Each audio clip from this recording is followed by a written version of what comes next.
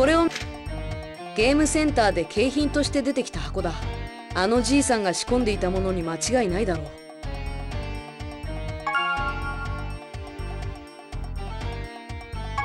ヒントになるようなものはないな。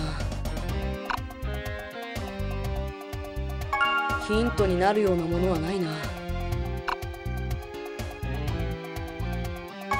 541これは回転錠の番号じゃなかったな。しかしやけに文字同士の隙間が空いているな。ヒントになるようなものはないな。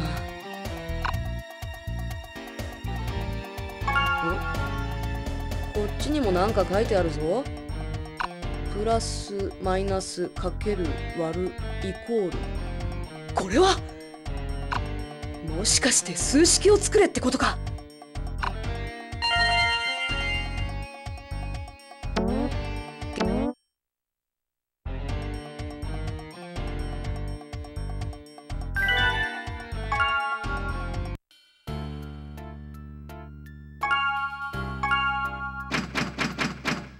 玄太が乗って調べた。ゲーム機の景品で出てきた。箱の裏側に書いてあった数字だ。何かの暗号かもしれないな。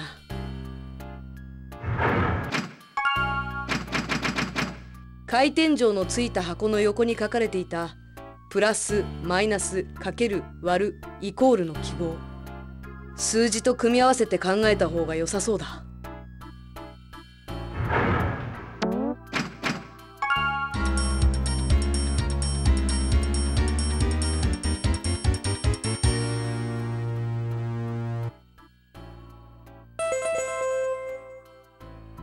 箱に書いてあった541の数字とプラスマイナスかける割るイコールの5つの記号どうやら数字の間に記号を入れて数式が成り立つようにすればいいようだな。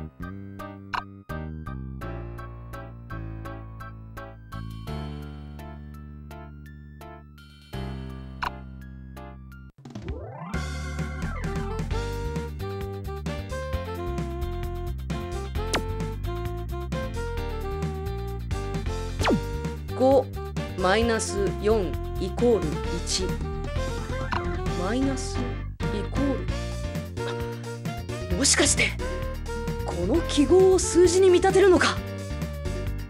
だとすると12いや回転錠で合わせなければいけない数字は3つだ。考え方としては問題なさそうだが数字が2つにしかならない。これは答えではないな。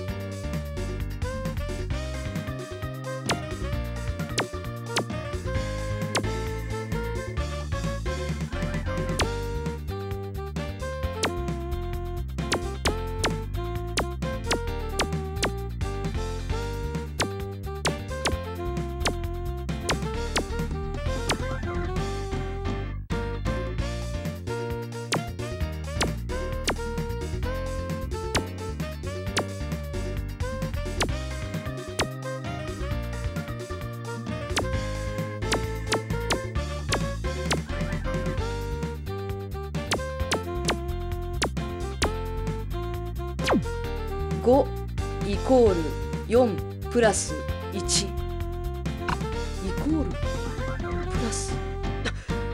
もしかしてこの記号を数字に見立てるのか。だとすると20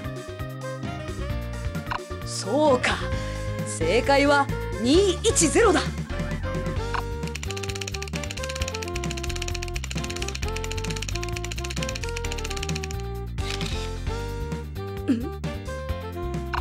またトランプのカードか。今度はスペードの8のカードだ。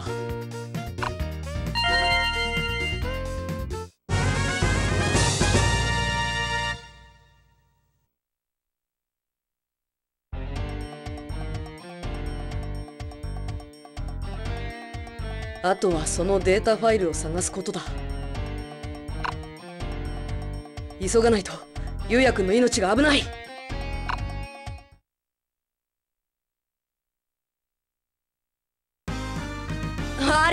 待たせたな。遅かったわね。何かあったの？コナン君さっき携帯電話の音がしてましたけど。あああ。手品師のじいさんが持ってたやつだ。家族からかかってきたらじいさんのことを知らせなきゃと思ってさ。それで家族の人からだったの？コナン君。まさか悪い奴らだったんじゃないでしょうね。あのおじいさんさっき電話を取った時急に顔色が変わったんですよ。はいいやただの間違い電話みたいだったぜ。じいさんの孫が誘拐されてるなんてこいつらには言えねえ。事件に巻き込むわけにはいかねえからな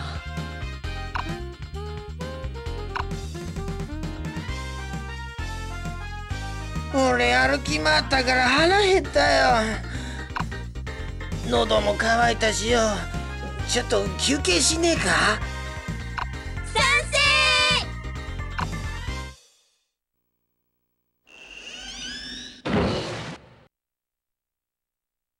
ローテジナ氏から受け取ったカードは彼からのメッセージ。それをもとにいくつかの手がかりをつかむことができたしかしそこからは新たな謎が生まれただけだった。回転状の箱1700そして意味不明な文章。暗号なのかそれとも何か別の意味が。そしてローテジナ氏とユウヤ君を誘拐した犯人との接点は。何よりも彼らが要求している謎のデータファイルはどこにあるんだ。早く探し出さないと。ユウヤ君が危ない。セーブするかい？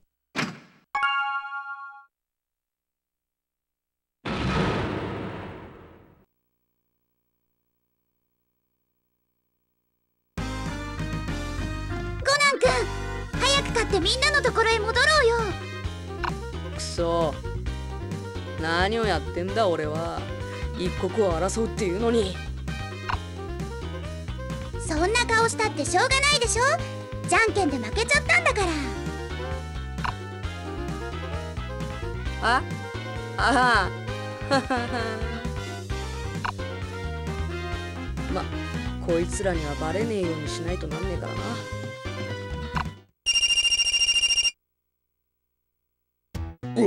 お兄貴。え？ガキじゃなくて兄貴がコーヒーはダメ。あわかりましたよ。あの男の声聞き覚えがあるような。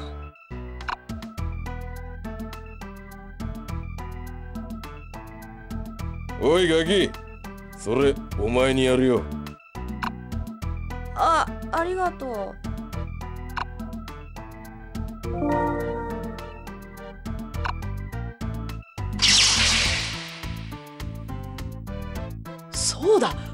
思い出した。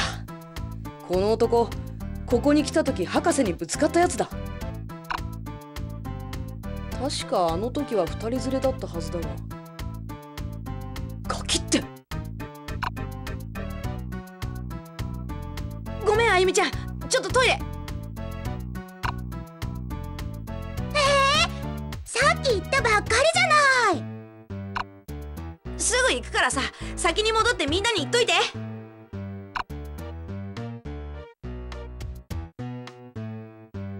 点検作業中って。おいおいどう見たって作業員には見えねえぞ。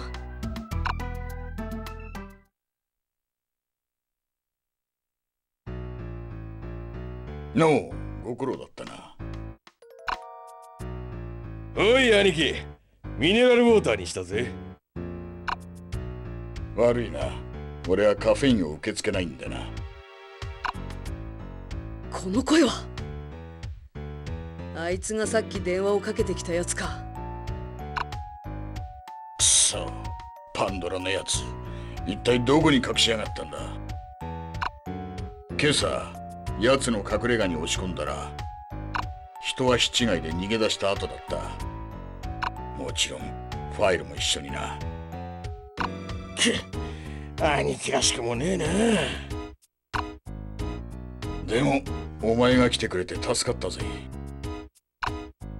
奴の孫んちの電話から逆探知して奴の携帯番号を割り出すことができたんだからな。さすがだぜ。照れるぜ。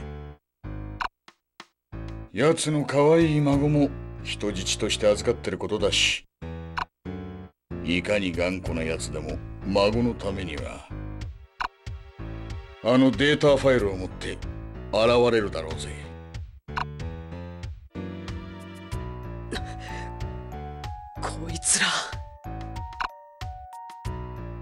ところでそのデータファイルってそんなに大層なものなんですかい？なんだ知らねえのか。あのデータさえあれば世界中の偽札を作ることができるんだからな。もちろんどんな機械でも見破れねえ。そいつはすげえや兄貴。それをあのパンドラの野郎データが完成した途端に急に逃げ出しやがった。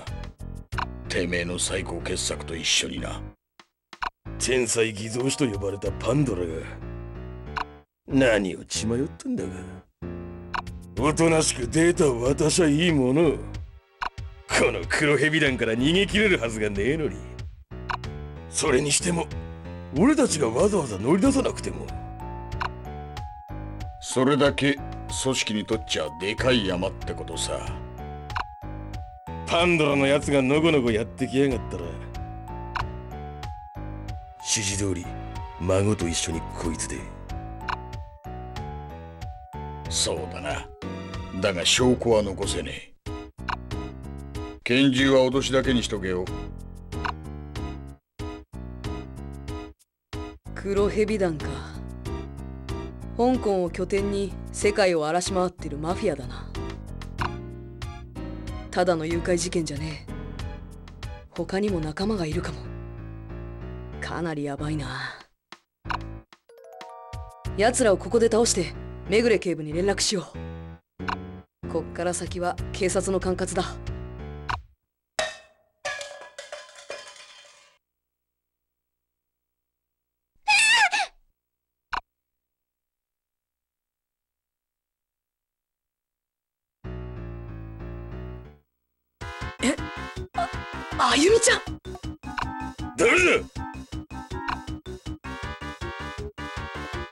まずい。なんだお前たちは。こいつらさっき自動販売機のところにいた。何しに来たんだガキ。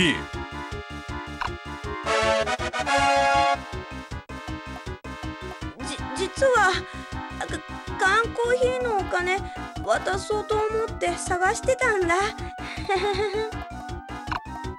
そんなもんいらねえよ俺はガキと動物が大嫌いなんださっさと行きやがれ。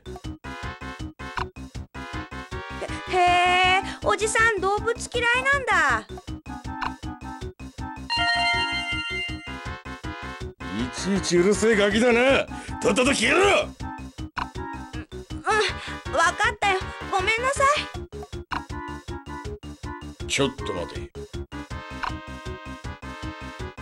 お前らまさか今の話聞いてたんじゃねえだろう話って？僕たち今ここに入ってきたばっかりなんだけど。なまあいい。聞かれたところでガキにはどうにもできまい。さっさとママのところに帰りな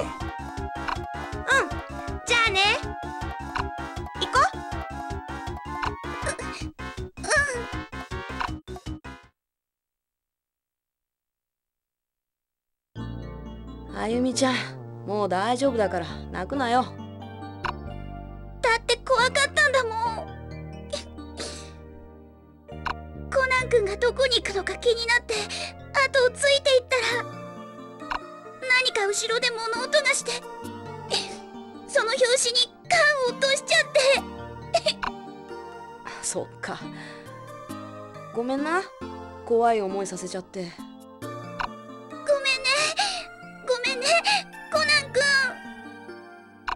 もういいって。泣くなよ。それにしても黒蛇団っていや香港マフィアでも一二を争う巨大な組織だ。パンドラっていうのはあのじいさんの組織での通り名だったのか。たく。偽札の研究をしてた張本人だなんてとんだ食わせもんだぜ。しかしそのじいさんは偽札が作られる前に自分の研究データをこっそり持ち出した。そしてそれに気づいた黒蛇団は追っ手を差し向けた。孫を誘拐してまでってことは奴ら相当焦ってるはずだ。こいつらをこれ以上巻き込むわけにはいかない。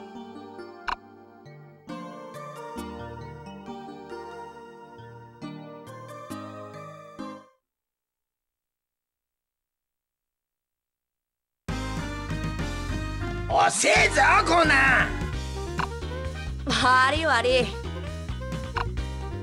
さて一息入れたところで悪いが謎解きごっこはこれでおしまいだ。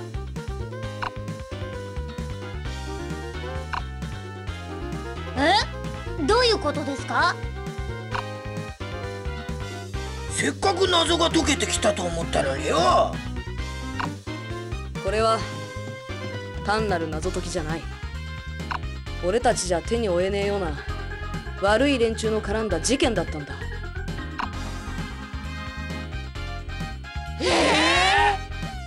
江戸川君？ああ。いいか？これ以上首を突っ込んだら危険なんだ。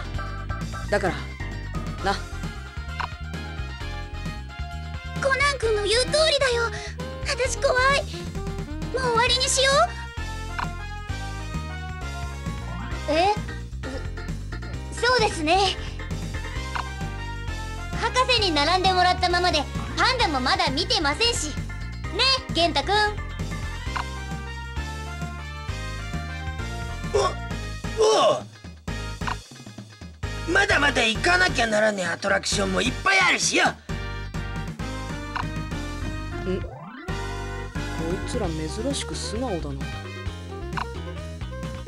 目暮警部に連絡した方がいいんじゃない？それが園内に公衆電話がねえんだよ。あのじいさんの携帯は電池が切れちまった。俺のイヤリング型携帯電話も修理中でな。ごめん。俺ちょっとトイレに寄ってくから。おめえらは先に博士のところに戻っててくれよおいおいまたかよ。俺らに隠れてジュース何杯も飲んでんじゃねえか？それと博士にこのことを話して警察に連絡してもらってくれ。頼んだぞ。